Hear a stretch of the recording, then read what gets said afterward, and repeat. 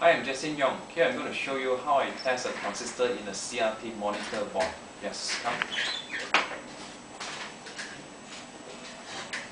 This is a transistor that I want to check. First, you need to solder it up first.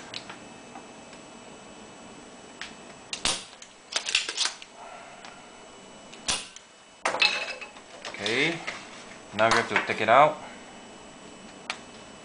Look at the part number.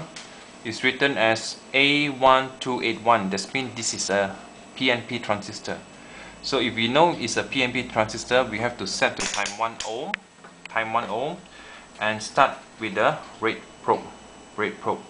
We have to check to see which leg that will show reading.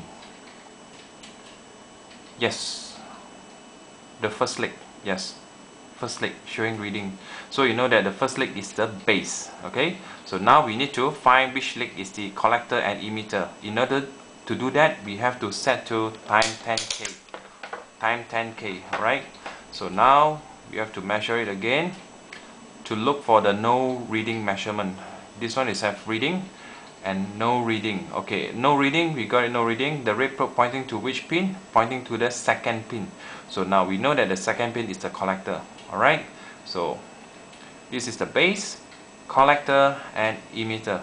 It's easy to find out to test uh, a transistor whether it's good or spoiled after that you need to put it back.